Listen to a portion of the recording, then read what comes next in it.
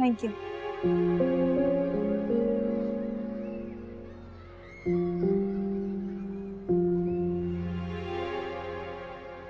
मेरा तो इतना अच्छा दिन स्कूल में गुजरा है कि मैं क्या बताऊँ?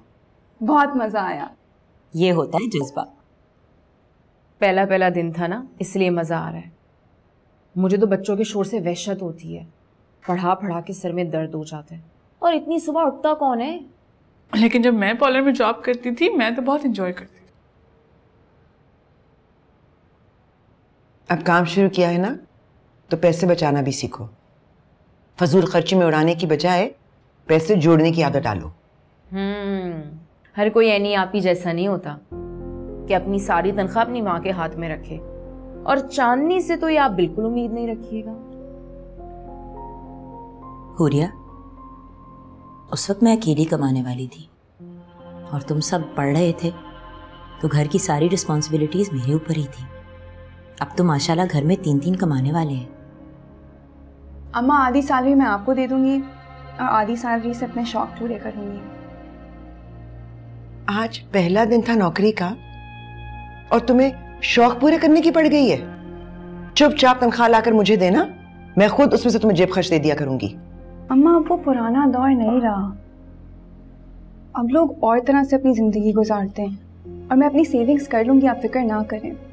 आधी सैलरी पर तो मेरा हक बनता है ना? और मैं भी चाहती हूँ कि मैं अपनी ज़िंदगी अपनी मर्ज़ी से गुजारूँ। आज पहले दिन घर से बाहर निकली हो और तुम्हारे मुँह में इतनी जबान आ गई है? उसको देखो आज सालों से मेहनत कर रही है सबको पाल रही है सबकी फ़िक्र है उसे। घूरिया की शादी सर पर खड़ी है मगर किसी को फ़िक्र नहीं। अम्मा सारे इंतज़ाम हो जाएँगे। आप फ़िक्र ना करें। हाँ तो बेटा तुम्हें फ़िक्र है ना? किसी और को तो नहीं है। बस सबको ये फ़िक्र है कि मेरी शादी और मुझे विदा कर दें क्योंकि मैं कमाती नहीं हूँ।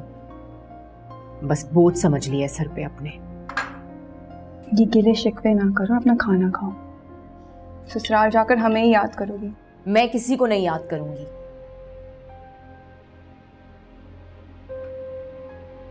उसको तो खिला दो खुद नहीं खाना तो।